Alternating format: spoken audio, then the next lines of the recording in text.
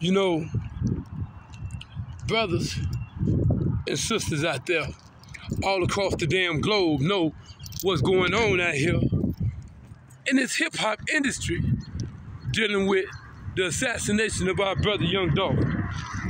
Let me tell y'all something.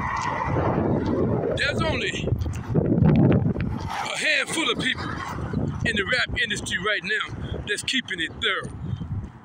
Okay?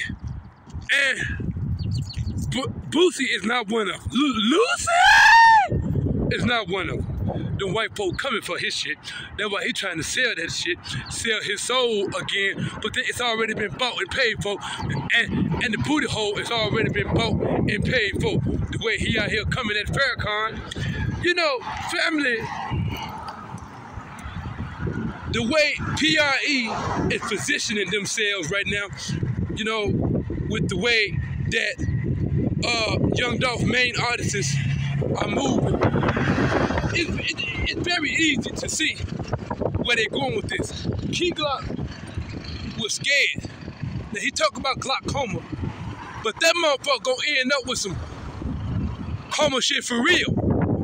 Because this ain't no damn thing to play with. You signing deals and you ready to jump in the bed with the ops.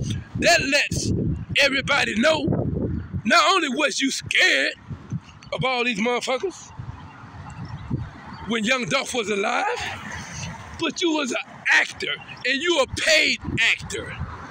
There's no way my boss gonna come in town. There's no way.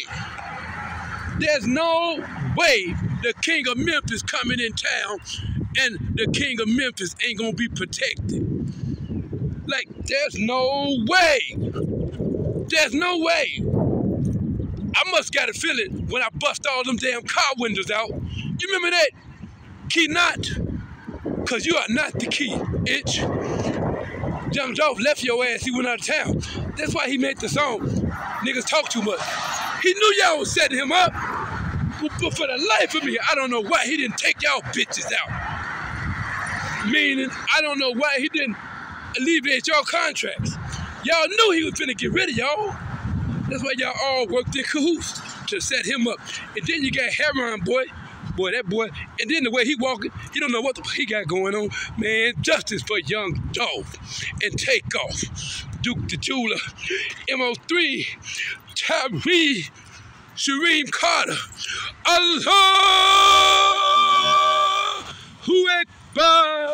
Nigga shit round here. And a nigga ain't gotta be black. They white too.